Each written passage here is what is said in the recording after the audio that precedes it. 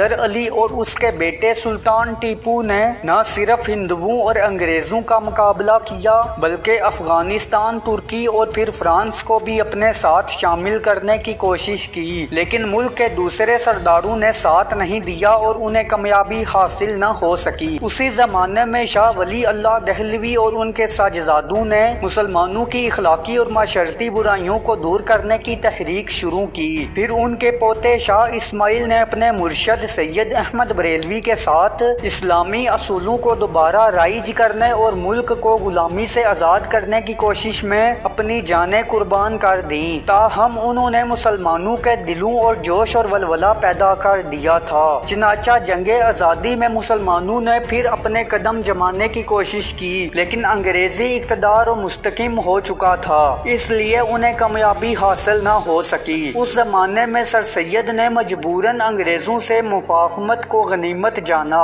और मुसलमान कौम की इखलाकी और तहजीबी असलाह पर तवज्जो दी और उनके दिलों से एहसास कमतरी को दूर करने की कोशिश भी की।